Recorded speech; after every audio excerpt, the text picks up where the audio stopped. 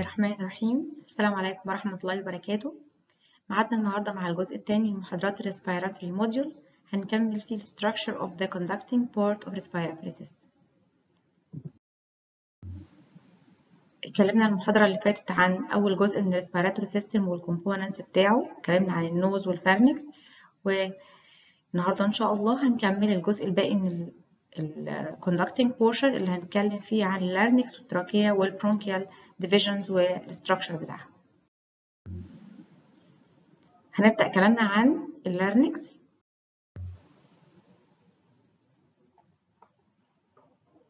طيب مين هي ال larynx؟ نعرف عنها إيه؟ by definition it is the passage of air أو for air between pharynx فوق و trachea تحت يبقى هنا فوق في ال pharynx وهنا تحت في ال trachea ال connection بين الاثنين this is the larynx طب ال wall بتاعها أو جدار ال larynx عبارة عن إيه؟ برضو عبارة عن mucosa epithelium underlying connective tissue. طب ال epithelium بتاعها which type it is mainly respiratory epithelium. إحنا متفقين من المحاضرة اللي فاتت إن معظم وليس كله معظم ال respiratory passage is lined by respiratory epithelium لغاية ما أقول لك هنا stop اختفى ال respiratory epithelium. فطول ما إحنا نازلين هو ماشي معانا طب هل هنا هو lining all the pharynx لا أنا حطيت except فلازم اي except تيجي قدامك تقف عندها except مين except two areas موجودين في ال larynx لكن مش lined by respiratory epithelium اللي هم vocal cords و epiglottis المكانين دول lined by different type of epithelium هقوله كمان شوية لكن ال generalized lining ليها هو respiratory epithelium ال corium بتاعها فيه إيه ال corium بتاعها ان فيه connective tissue it contain cartilage. طب يا ترى إيه أهمية ال cartilage هنا؟ ليه ال wall of larynx contain cartilage ببساطة we need إن ال larynx تفضل مفتوحة 24 ساعة ل 24 ساعة. يعني لا مجال إنها يحصل لها compression إنها to be closed إنها تقفل في وقت كده وإحنا نايمين وتقول أنا كمان أنام شوية ما ينفعش. لازم to maintain the airway open كل الوقت. طول الوقت لازم يفضل مفتوح. طب إيه اللي ساعد ال larynx في كده؟ وجود ال cartilage in its wall يبقى ده بيخلي ال cartilage ال wall بتاعها enforced قوي. في درجة من الصلابة أو الثبات إن هو يفضل على الفتحة بتاعته موجودة all the time وما تقفلش خالص. يبقى وجود cartilage to reinforce its wall so it maintain it open airway أو maintain an open airway طول الوقت. طب يا ترى إيه أنواع ال cartilage اللي موجودة في ال wall of the larynx عندي نوعين. ال larynx فيها cartilage صغننة كتير يعني فيها كذا اسم هتاخدوه في ال anatomy بالتفصيل. لكن أنا مش هتكلم عليهم قد ما هتكلم على أنواع ال histological types of cartilage أنا عندي نوعين من ال cartilage موجودين في ال larynx ال hyaline cartilage وده موجود في ال thyroid cartilage وال cricoid cartilage الكبيرة اللي أنتوا شايفينها ليها بوز اللي بتعمل تفاحة آدم دي this is called thyroid cartilage دي عبارة عن إيه؟ It is formed of hyaline cartilage طيب ال elastic fibrocartilage موجود فين؟ موجود في ال epiglottis وفي ال cuneiform cartilage يبقى أنا عندي نوعين cartilage hyaline و elastic وأعرف كل نوع منهم موجود في أنهي حتة في في ال larynx أو في أنهي cartilage في ال larynx يعني just examples يعني. يبقى ده كده in short مين هي ال larynx lined by إيه وال corium بتاعها موجود فيه cartilage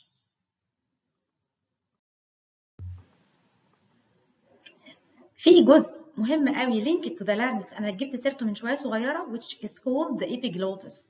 مين ال epiglottis ده؟ بيقولوا بالعربي لسان المزمار طب ده عبارة عن إيه؟ ده عبارة عن flattened structure يعني حاجة مبططة كده زي بالظبط الباب. عارفين الباب بتاعنا لما نفتح ونقفل الباب؟ الباب اللي بيفتح ويقفل ده this is the epiglottis. طب الباب ده أهميته إيه؟ موجود عند ال larynx بيعمل إيه؟ ده it is very important في فتره ال swallowing أو بلع الأكل. لو إحنا بناكل والأكل بيتبلع عشان ينزل ال stomach في اللحظة بتاعه البلع ال epiglottis بيقفل ال larynx طب برضو ليه؟ إيه الفكرة يعني؟ محتاجين ده في إيه؟ محتاجينه علشان نمنع تماما إن أي حاجة من الأكل أو من الشرب اللي إحنا بناخدها يتحرك منها فتفوت وتدخل ال larynx ده على طول بيحصل what we choking أو بنشرق. لو حصل إن ال epiglottis ده سرب سنة ودخل أي حاجة من الأكل والشرب في ال larynx إحنا بنشرق ونفضل نكح كتير كتير عشان نخرجها.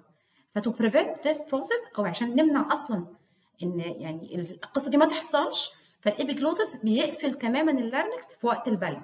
فيمنع أي أكل أو شرب يدخلها ويفضل محافظ إن جواها هواء فقط. This is regarding the epiglottis. طيب هل ال larynx كل وظيفتها إنها airway part of the passage of the air طبعا لا. ال larynx ليها وظيفة تانية very important اللي هي ال phonation. صوتي اللي سامعيني بيه دلوقتي ده بيطلع إزاي؟ عن طريق وجود ال larynx وال structures اللي فيها. فهي فيها structure مهم قوي برضو لازم نعرفه اسمه vocal cords. ال vocal cords دي اللي هي الأحبال الصوتية. ودي very important structure in the larynx for phonation. عشان اتكلم وأطلع صوت. عبارة عن إيه ال vocal cords they are two pairs of mucosal folds extend into the lumen. الجدار بتاع ال mucosa بيعمل تنية كده جوه ال lumen fold بسميه the vocal cords. أنا عندي منه two pairs. في pair بسميه false cords أو vestibular folds وفي pair تاني بسميه true cords أو vocal folds. يبقى ده معناه إيه؟ معناه إن أنا عندي two pairs. اتنين منهم اسمهم false واتنين منهم اسمهم true. طب بالمنطق والعقل. مين فيهم مسؤول عن ال phonation؟ ال false ولا ال true ها؟ Logically the true. لأن هم اسمهم true cords. True vocal cords or vocal folds. ده معناها إن دول المسؤول عن ال phonation. أمال ال false دول أهميتهم إيه؟ إيه اللي حطهم بقى هنا؟ ال false دول أهميتهم يشاركوا ال epiglottis في ال protection بتاع ال larynx وقفلها في وقت ال swallow يبقى دول ليهم protective function وليس ليهم دور في ال phonation. طب اتسموا كده ليه؟ عشان هم شبههم شبه ال true cords ولكن ما لهمش دور في ال phonation. طيب نعرف عنهم إيه؟ مكانهم. ال upper fold يعني لو أنت بتبص على ال larynx من فوق من بصة top view هتلاقي فيه تانيتين فوق بعض. التانية اللي فوق the upper دي ال false يعني دي ملهاش دعوة بال phonation. التانية اللي تحت في الجدار اللي هي true ودي المسؤولة عن ال phonation يبقى ال lower pair يبقى أنا عندي كام pair؟ اتنين. الاتنين ال upper دول مالهمش دعوة بال phonation ومالهمش دعوة بأي كلام خالص. الاتنين ال lower هما المسؤولين عن ال phonation أدي الوظيفة أهي. ده protecting لل larynx معناها إن هو ده بيشارك ال epiglottis في ال protection إنه يقفل ال larynx فيمنع أي foreign bodies أو أي materials تنزل من ال pathway إلى ال larynx مين بقى المسؤول عن ال phonation؟ ال true cords أو اللي بنسميهم vocal folds الاسم بتاعهم اللي بيقول إن هم vocal يعني مسؤولين عن ال phonation vocal folds طب بالنسبة لل lining بتاعهم مين بقى فيهم؟ هيبقى respiratory epithelium تفتكروا مين؟ طبعا ال false هي اللي lined by أو covered by respiratory epithelium لأن دي جزء من ال passway ومسؤول عن ال protection لكن الجزء المسؤول عن ال phonation هو وال epiglottis الاثنين are covered by stratified squamous non-keratinized. يبقى ال exception وضحت هنا أهي.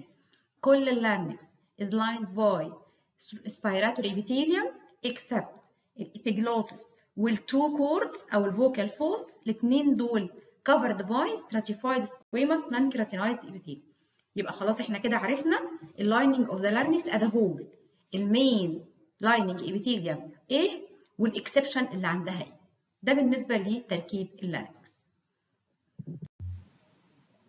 آدي صورة أهي top view لل larynx أنا كده ببص من فوق يعني أنا قطعت TS section وببص من فوق. ال cords أهم الاثنين اللي فوق دول اللي لونهم pink ومنورين شوية دول these are the false أهم. والاثنين اللي تحتهم these are the true cords يبقى ده pair أهو الأبيض شوية ده ده اللي تحت ده ال true واللي فوق ده ال false هنبص على ده دي صورة لها بالمنظار اللي بيتحركوا دول تفتكروا هما مين؟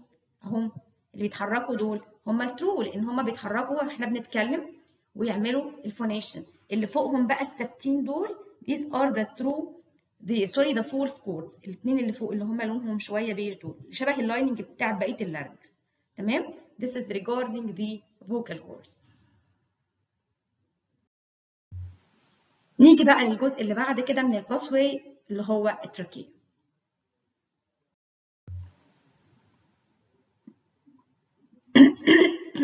مين هي ال trachea؟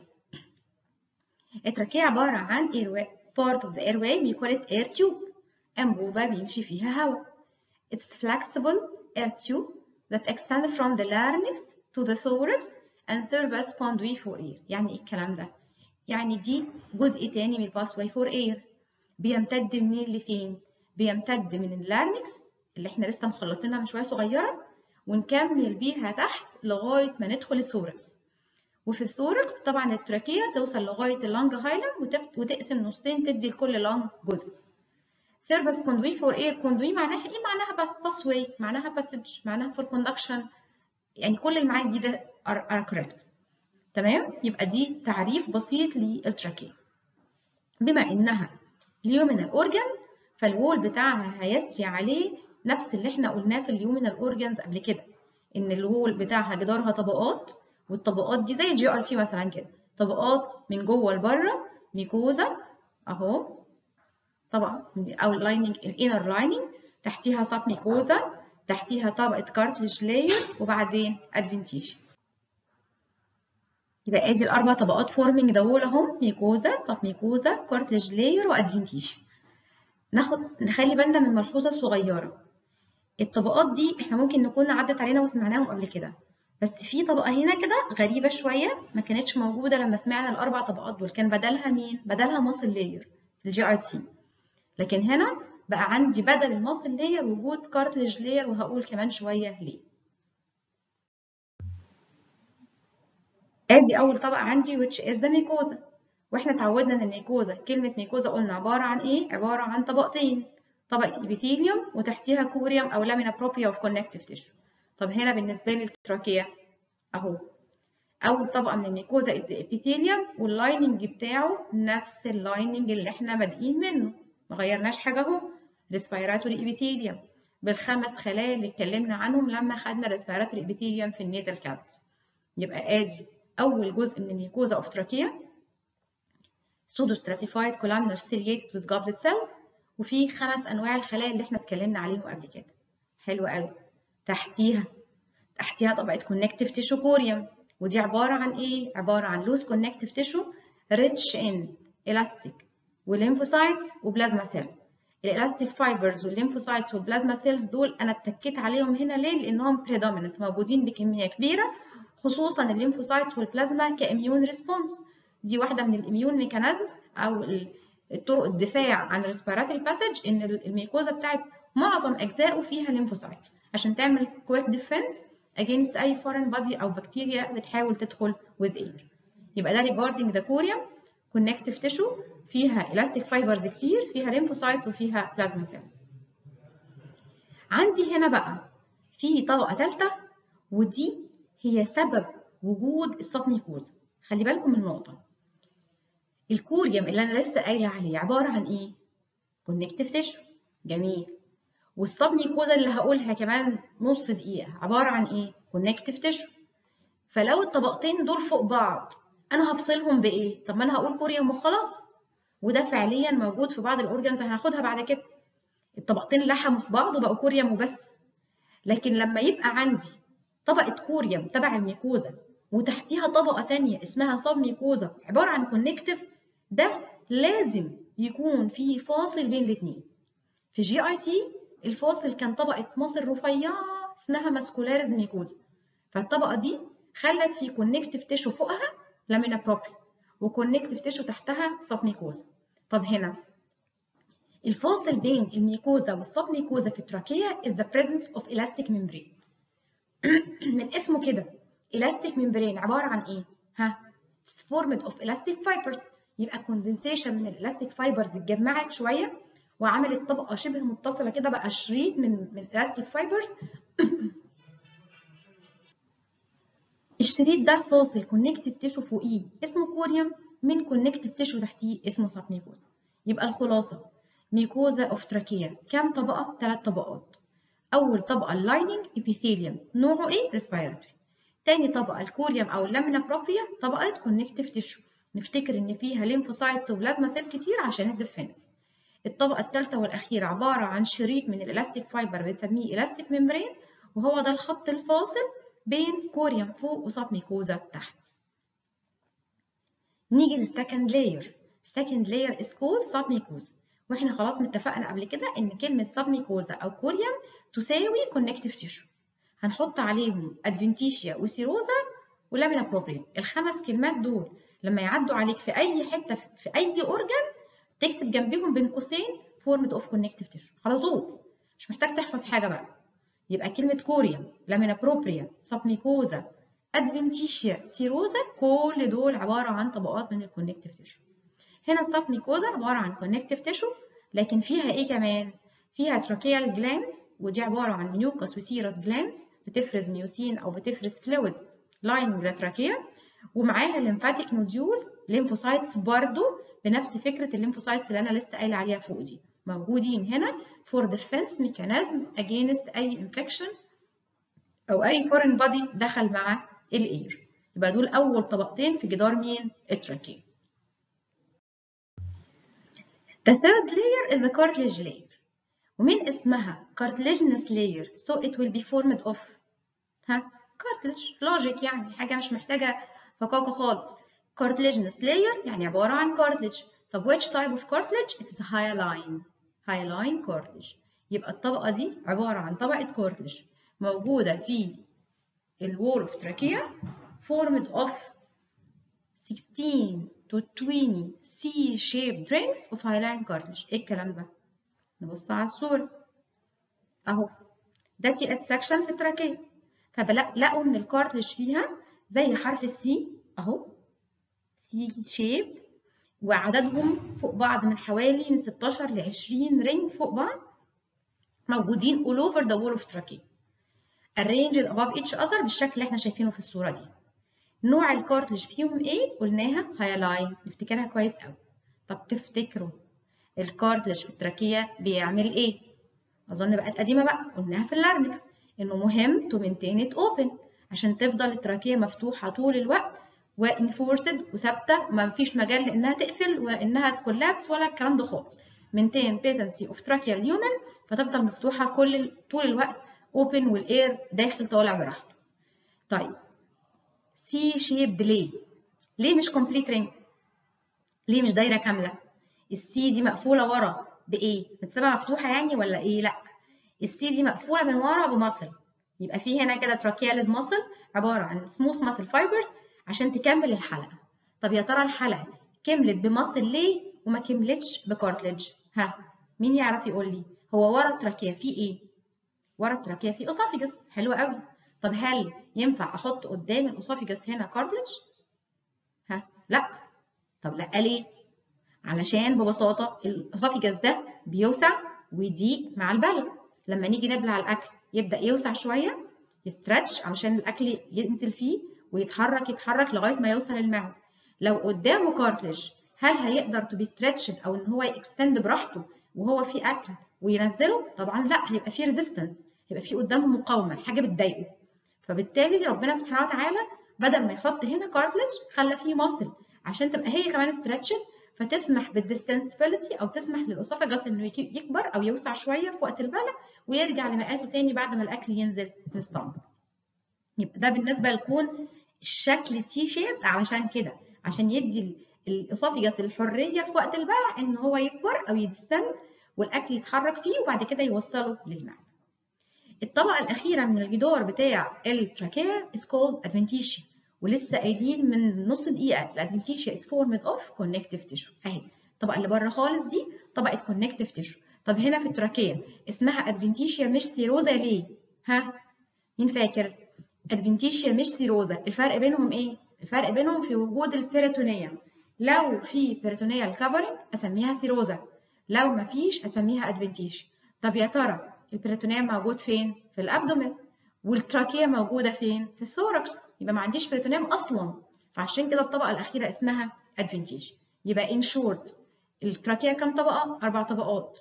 من جوه لبره mucosa epithelium respiratory corium connective tissue في lymphocytes و elastic fibers وبعد كده elastic membrane خط بين ال trachea وتحتيها submucosa ال mucosa sorry وتحتيها submucosa الطبقة الثانية submucosa عبارة عن connective tissue وفيها lymphocytes أو lymphatic nodules ومعاهم glands. الطبقة الثالثة cartilaginous layer. ليه cartilaginous؟ عشان فيها hyaline cartilage على شكل حرف C ومقفول من ورا ب muscle علشان وراه esophagus. الطبقة الأخيرة adventitia عبارة عن connective tissue تربط ال trachea أو تثبتها في ال structures اللي حواليها يبقى ده structure of the wall of trachea تبدأ تتقسم ال trachea وتديني divisions هنتكلم عليها ونعرف ال branches بتاعتها إيه. This is what we call bronchial tree. آدي ال trachea اللي إحنا لسه مخلصينها أهي. نزلت من إيه ال neck كملت في ال thorax عشان توصل ال lung وتوصل الهواء لل lung طيب وصلت لغاية هنا. هتعمل إيه؟ هتتقسم نصين. Two divisions. ال two divisions هسميهم إيه؟ extra pulmonary bronchi ليه two divisions؟ عشان أنا عندي two lung فالاتنين يوصل لهم هواء طب ال two divisions دي بره ال lung قبل ما يدخلوا ال lung هسميهم extra pulmonary طب لما يدخلوا ها هسميهم إيه؟ intra pulmonary أهو الزور إيه دول؟ ال intra pulmonary bronchi هتبدأ تتقسم ل segmental bronchi على حسب عدد ال segments في ال lung فال lung دي 2 segments أو 3 segments يبقى يتقسم عندي 2 أو 3 segments أو 2 segment 2 أو 3 segmental bronchi يبقى لما يدخلوا ال lung على حسب عدد ال segments كل lung يتقسم لها كل واحدة تاخد bronchus خاصة بيها. بعد كده تتقسم كمان divisions أكتر أكتر أكتر لغاية ما يديني bronchiole صغنونة خالص وال diameter بتاعها صغير اسمها bronchiole اللي هي أصغر حاجة في الفروع دي. يبقى دول كده التقسيمة هتمشي معانا إزاي؟ trachea تديني اتنين. extra pulmonary bronchi بره ال lung يدخلوا ال lung يتغير اسمهم من extra إلى intra ال intra يتقسموا ل segmental على حسب عدد ال segment في ال right وال left lung وبعد كده يتتوالى ال divisions divisions divisions لغاية ما تديني bronchioles صغنونة خالص.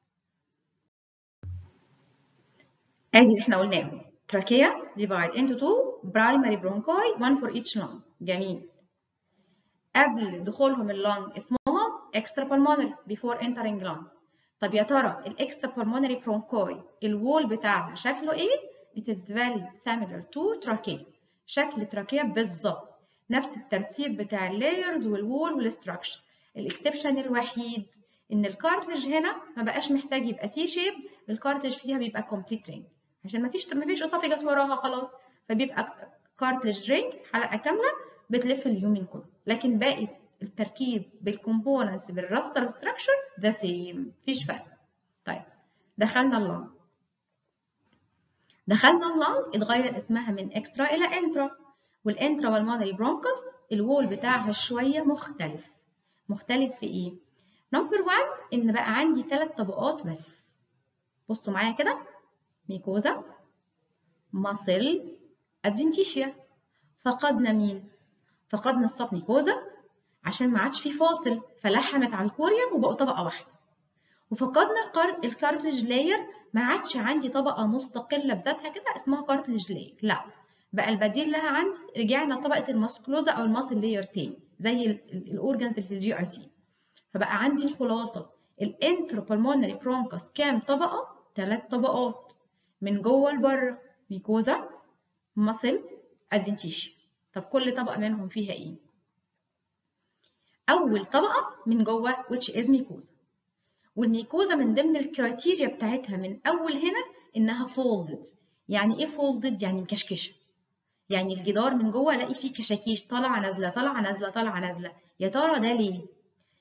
اعرفوا برضو معلومة كده على طول تبقى ثابتة في دماغك ما تنساهاش. إنه mucosa تحتيها muscle هتبقى folded بسبب إن ال muscle contractile فلما ال muscle تنقبض تكشكش ال mucosa لما ال muscle ت relax تفردها شوية.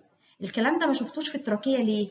لأن ال trachea بديل ال muscle عندها في cartilage فبالتالي ال mucosa مشدودة على ال cartilage مفرودة فبلاقي ال lumen بتاعها من جوه مفرود مفيش فيه folding لكن من أول intrapulmonary bronchus وإحنا نازلين طالما عندي sheet muscle لافف ال lumen كله هلاقي ال mucosa folded فيها كشكشات وهوريها لكم دلوقتي.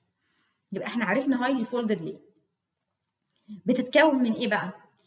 أول طبقه ال mucosa epithelium corium إحنا خلاص عرفناهم ال epithelium هنا respiratory epithelium.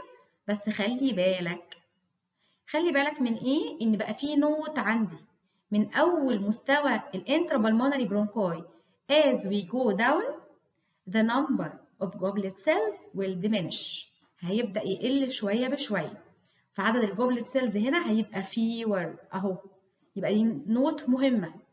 إن من أول ال intrapulmonary bronchus كل ما انزل لتحت كل ما ال divisions تكتر كل ما عدد ال goblet cells هيقل. حد يسأل ويقول لي ليه؟ ها تفتكروا ليه؟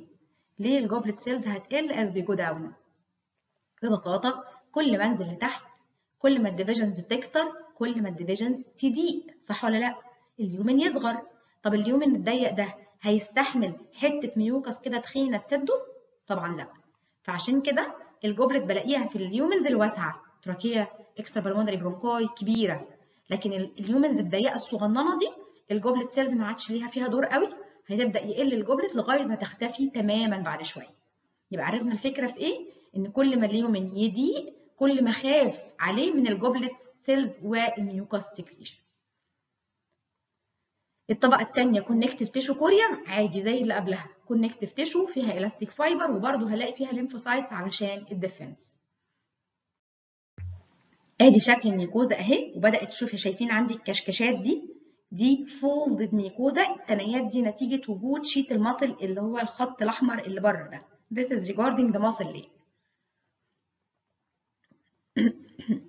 ال muscle layer هنا دي الطبقة الثانية بعد ال mucosa عبارة عن spirally arranged smooth muscle fiber طبقة من ال smooth muscles تلف ال lumen كله حواليه كله أهو ودي عبارة عن smooth muscle fiber الطبقة الثالثة والأخيرة من الجدار واللي هي ال adventitia هنا عبارة عن connective tissue لكن connective tissue مش فاضي. connective tissue فيه حاجات تانية.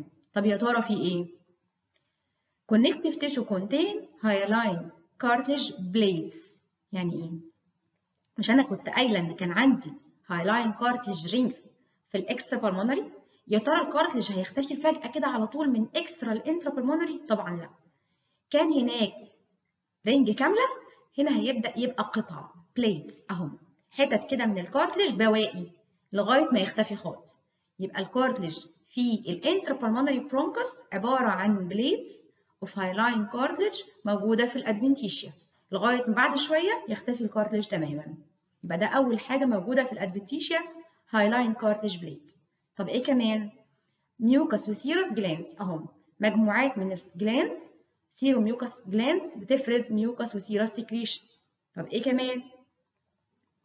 lymphatic nodules برضو lymphocytes متجمعة مع بعض عشان تعمل لي defense يبقى في ثلاث structures موجودين في ال adventitia very important. ال intrapulmonary bronchus ال adventitia بتاعتها فيها إيه؟ فيها ثلاث حاجات. connective tissue contain ثلاث حاجات. hyaline cartilage plates groups of glands mucous و serous acini ومعاهم lymphatic follicles أو lymphatic nodules الثلاثه دول مهمين ليه؟ آسفة جدا. علشان ال level الجاي اللي هو ال structure ال bronchiole اللي هيجي الثلاثه هيختفوا مع بعض. فنبقى عارفين كده إن هم موجودين في ال intrapulmonary bronchus بس ال level اللي بعديها بال divisions هيختفوا الثلاثه ويبقوا مش موجودين وال adventitia تبقى connective tissue فقط. ادي ال divisions بتاعتها اللي قلت لكم عليها من شوية إن ال intrapulmonary جوه ال lung تتقسم الأول lobar وبعد كده segmental sorry ال lobar هي اللي مسؤولة عن كل bronchus لكل lobe فهتبقى 1 for each lung وبعد كده تتقسم ل segmental وتتقسم حتت صغيرة 1 for each lung lobe يعني ال intrapulmonary bronchi هتدخل جوه ال lung ال lung فيها 2 lobes تتقسم ل 2 lobar bronchi ال lung فيها 3 lobes هتتقسم ل 3 lobar bronchi بعد كده ال lobar تتقسم ل segmental وتبدأ تتفرع أصغر في أصغر في أصغر لغاية ما نوصل لمستوى ال bronchioles. تمام؟ يبقى ده الجزء الخاص بال bronchi نيجي بقى لل bronchioles ونشوف إيه الفرق في التركيب بينها وبين ال bronchus إمتى ال division ياخد لقب bronchiole؟ إمتى أسميه bronchiole مش bronchus لما ال diameter بتاعها يبقى equal or less than 1 ملم يعني إيه؟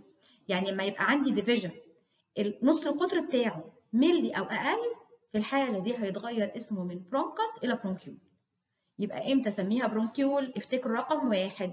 واحد ملي ال bronchiole ال diameter بتاعها واحد ملي أو أقل. أكتر من كده هيبقى لسه اسمها bronchus طب ال bronchiole دي جدارها عبارة عن إيه؟ ها؟ نفس الثلاث طبقات بالظبط خلي بالك مش هنقول لي ده اهو هنقول التريكس بس الفروق mucosa و muscle و adventitia طب ال mucosa highly folded وعرفنا ليه خلاص هي نفس الفكرة بالظبط عشان في muscle تحتيها هتكشكش ال mucosa. ال lining بتاعها لا stop بقى خلي بالكم بدأ يختلف. يعني كان نهاية ال respiratory epithelium فين؟ intrapulmonary bronchus كل ما ننزل لتحت بقى يبدأ يقل يقل في, في الارتفاع بتاع ال epithelium في ال bronchiole اختفى تماما ال respiratory epithelium وحل محله simple columnar cells simple columnar epithelium. يبقى اذا ال respiratory epithelium كان حلو وشغال معانا من أول فوق لغاية ما نزلنا لما قبل ال bronchiole. أول ما خد لقب bronchiole اختفى تماما ال respiratory epithelium وحل محله epithelium which type اللي بعديه أو اللي أقل منه سنة اللي هو ال simple columnar epithelium ال simple columnar epithelial lining of bronchiole عبارة عن خليتين. خلية اسمها ciliated columnar cell ودي بواقي ال columnar اللي موجودة في ال pseudo columnar cell وفيها cilia موجودين لسه مكملة. لكن هنا هيظهر معايا خلية جديدة دي non ciliated بيسموها club cells الخلية دي كان اسمها في ال textbooks الأقدم شوية Clara cell يعني هي the same ولكن ده ال new name بتاعها في ال versions الجديدة من الكتاب من ال textbooks بتاعت ال histology مين ال club cells دي؟ دي عبارة عن إما columnar cell أو أقصر شوية بسميها cuboidal اللي هي بين ال columnar وال cubical الخلية دي دي secretory cell بتفرز. فيها secretory granules لما تتشاف بال electron microscope لقوا إن فيها secretory granules طب يا ترى ال granules دي بتفرز إيه؟ دي بتفرز مادة مهمة جدا جدا اسمها surfactant ال surfactant ده عبارة عن إيه؟ عبارة عن glycoprotein material بتبطن ال bronchiole من جوه كأنها كده بندهن ال bronchiole من جوه من ال surfactant ده عشان تعمل إيه؟ عشان تفضل محافظة عليها patent وبت prevent ال luminal adhesion ما تقفلش ال bronchiole ابدا تفضل مفتوحة يفضل ال lumen بتاعها patent ومفتوح وكمان ليه antimicrobial peptides بتفرز antimicrobial peptides ال club cells دي عشان تساعد في ال immune defense mechanisms يبقى إذا الخلية دي secretory بتفرز حاجتين بتفرز surfactant وده glycoprotein عشان يمنع ال luminal adhesion وي keep ال patent airway يعني نعتبره كده بيننا وبين بعض بديل لمين؟ بديل لل cartilage الجدار بقى رقيق قوي ما عادش يستحمل وجود cartilage فربنا يخلق بديل له وجود مادة تبطن ال cavity بتاعها أو ال lumen من جوه علشان تفضل مفتوحة ومشدودة وما تتقفلش. طب ال club cells بتفرز معاها كمان antimicrobial peptides دي من اسمها antimicrobial يبقى دي ليها defense mechanism يبقى دي خلية جديدة بدأت تظهر إيه من مستوى ال bronchiole وهتكمل معانا شوية لتحت. secretory cell non ciliated بسميها club cells no goblet cells ال narrow bronchiole خالص. مفيش bronchiole ال lining بتاعها تبص عليه وتلاقي فيها goblet cells وإحنا طبعا عرفنا السبب. لأن ال bronchiole ضيقة جدا غير مسموح بوجود mucus يسدها فمفيش goblet cells خالص في ال bronchiole